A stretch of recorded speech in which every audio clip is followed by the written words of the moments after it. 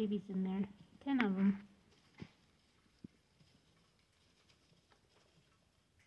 Bouncing around. Mama. And then this mama. And then her babies in there. They look like they're sleeping. But you can see them all.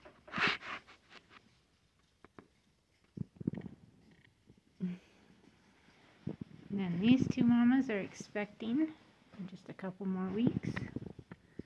And they're getting big. Getting nice big bellies on them. I actually think they took this time. Mr. Darius is the sire. Those are his kits there too. And then this mama right here right here who had the seven kits that are weaned. They're all gonna be these girls are gonna be bred to Mr. Thumper down there.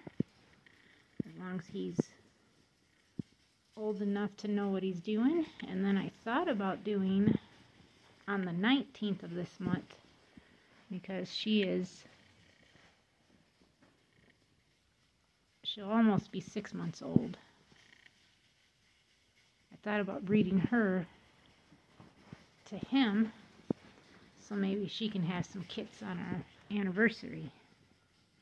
I thought that would be nice somewhere around March 19th is my husband and I's wedding anniversary. And uh,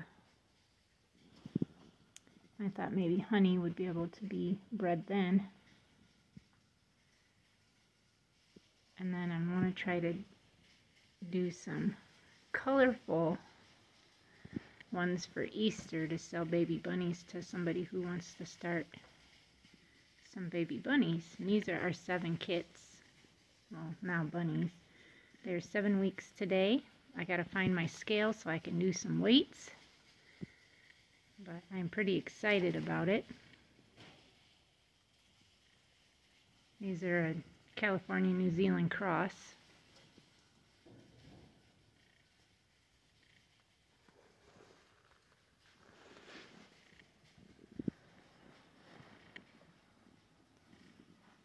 Everybody's pretty kosher, it looks like, on everything. And bouncing babies.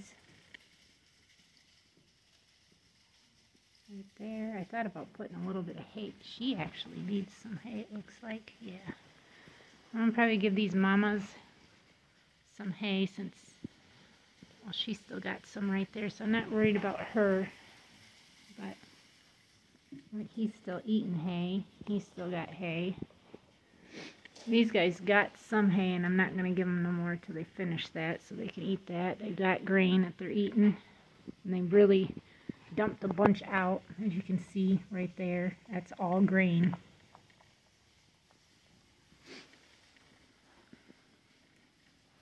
Just like this boy, he likes to dump his out too. And I try not to feed them very much. To try. Oh, good morning. We got babies up right there. Good morning.